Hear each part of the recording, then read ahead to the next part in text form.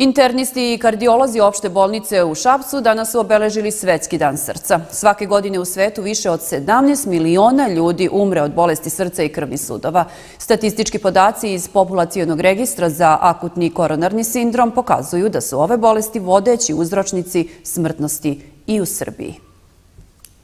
Prevencija je ključna i ne treba pocenjivati značaj pravilne i umerene ishrane. Istakli su lekari službe interne medicine pacijentima koji su čekajući na pregled simbolično dobili na poklon zelenu jabuku, ali imali mogućnost merenja pritiska i šećera u krvi. Zelena jabuka ukazuje na to da da treba da mislimo na ishranu, da promenimo način ishrane, jer e, zdravi životni stilovi su sad e, potrebni da bi se e, broj pacijenata sa komplikacijama smanjio. Dakle, e, pušenje je štetno i to svi znamo, ali stalno treba isticati za tu štetnost pušenja. E, onda treba prilagoditi ishranu. Treba ishrana da bude umerena i odmerena, manje obilna, što u Srbiji je onako prično rastegli pojem koja količina hrana je dobra za, za, za obrok. E, i e, šetnja, fizička aktivnost, vožnja bicikla, plivanje, mnogo doprinosi i smanjenju gojasnosti, a s druge strane poboljšava cirkulaciju Bolesti srca i krvnih sudova su vodeći uzroci smrtnosti u Srbiji, pokazuju statistički podaci iz populacijonog registra za akutni koronarni sindrom. U prethodnoj godini, u 21. godini, od e, bolesti srca i krvnih sudova umrlo je 56.610 osoba.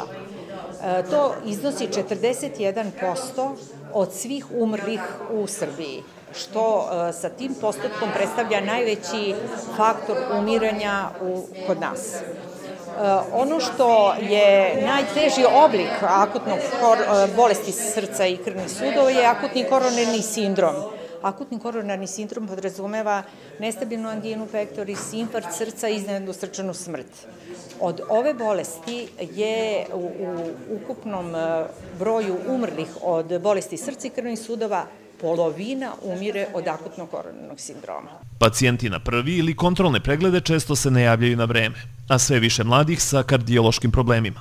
Infarkt srca poslednjih godina najčešće se javlja kod ljudi u 40. godinama. U prethodnih godinu dana u koronarnoj jedinici u Šapcu lečeno je 361 pacijent od akutnog koronarnog sindroma.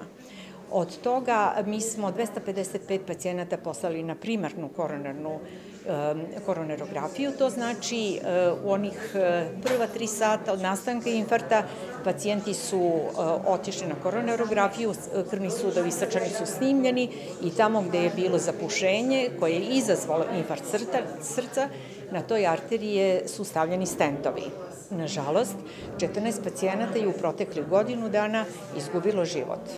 Pored lekara opšte bolnice, akciju je podržao Zavod za javno zdravlje Šabac i tom prilikom pacijentima je podeljen edukativni materijal sa zdravstvenim savetima i preporukama.